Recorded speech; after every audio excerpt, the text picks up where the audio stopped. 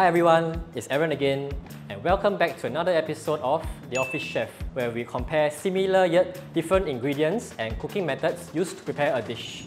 So for today's episode, we will be working on Chada chicken wings. We're gonna do the most sinful and my favorite way of doing. Deep fry them and make them into fried chicken wings. I mean, who doesn't love fried chicken wings, right? So over here, we have fresh chicken wings. Now these can be available in your wet market and they are typically sold like one or two days after slaughtering. Frozen chicken wings. This is a perfect solution for busy individuals who have no time to cook and they can be kept in the freezer for weeks. And lastly, we have kampung chicken. Now these are free-range chickens which are allowed to roam freely and they are said to be like fitness enthusiasts because they are not caged up like normal chickens and they are fed a pretty organic diet like bark, seeds, now they all look similar except for the kampung chicken which is visibly smaller, thinner and there's also a slight yellowish tinge to it. So let's start with seasoning the chicken wings. I have with me just basic salt and pepper mix. You can add stuff like soya sauce or chili powder if you want to make it more flavorful. I like to lay them out flat on a tray so that I can marinate them individually. That way you can get the seasoning more balanced on each side. So typically I would recommend you guys to marinate the chicken overnight because the flavoring will be better. If you have no time like me, you can just do it like 3 to 4 hours before you prep. I remember every time you handle raw chicken, make sure you wash your hands because they contain the bacteria salmonella which can cause food poisoning.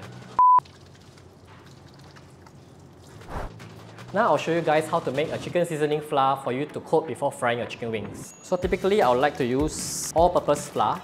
We will use 150 grams of it. Add 5 grams of chicken powder. Then over here we have a mixture of salt and pepper. White pepper will be 1.5 gram and salt will be 4 gram.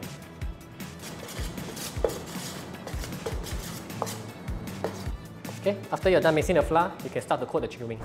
Now I'm sure most of you have heard people say, Aya, frozen chicken should be less tastier than fresh chicken wing.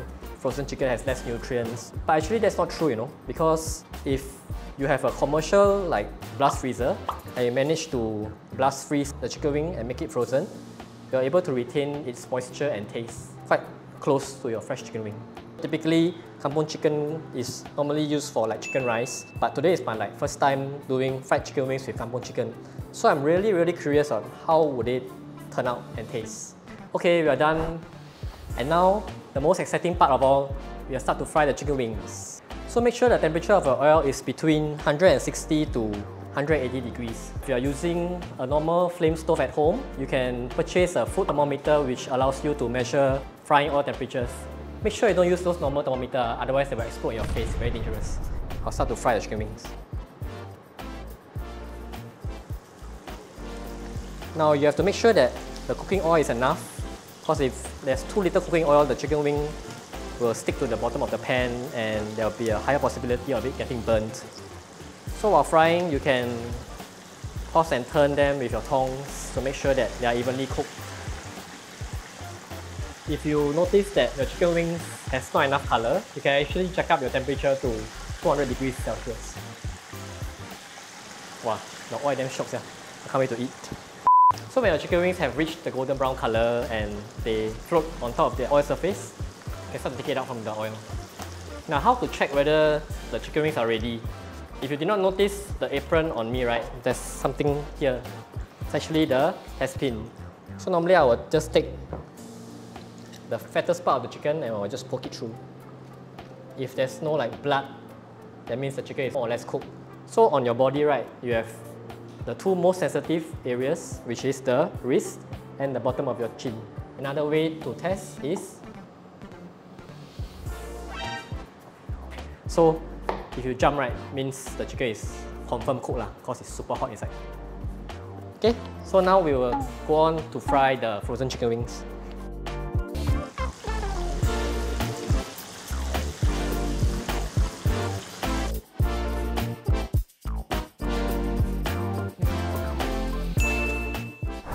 I have two of my colleagues, Jeremiah and Joshua. Yay!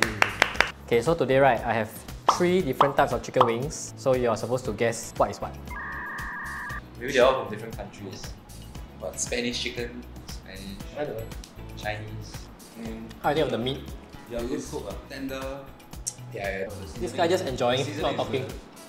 Seasoning is good. Okay. Right, no, we're talking talking about the the meat. We're talking about the meat today. Let's move on to the next one. This is much juicier. Yeah. This guy is so deep in thought. It's just juicier. Okay. The last chicken. There's something different about this really, I can tell. The chicken is like much more lean. Yellow. Curry powder or something. No, It's sweet. I think you're right. You know, the meat is like naturally sweet. This is like, you know when you go for like collagen hot dog, that kind of taste in the meat. Can you guess what is what? Uh, Malaysian chicken. Malaysian chicken. I'll say this is the frozen one.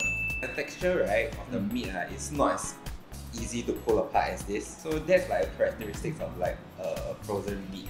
This is like a much cleaner taste that I like from the chicken. Cleaner and more tender, I think, for me. I think I'll go for spring chicken. Spring chicken. Yeah. I feel like this one is frozen. No, no, it's Oh, first before you answer. I feel like this one is the most like, juicy, right? So it should be the fresh. Yeah, I also think that this chicken is the juiciest. Yeah, so maybe this is like fresh and that one is frozen. Then this one I don't know, it's yellow. Maybe like kampung chicken. So today we have a winner, Jeremiah, because he guessed this is Malaysian chicken. Technically, all chickens are from Malaysia. Most chickens are from Malaysia. Yeah, so he's the only one that got two correct. And for Joshua, only one. So Jeremiah is the winner. Okay, thank you, Jeremiah and Joshua. Now we can get back to work oh, while I eat the chicken wings. So that's all for today's episode. Remember to like, comment, and subscribe. What are we cooking next week? You shall find out. Bye.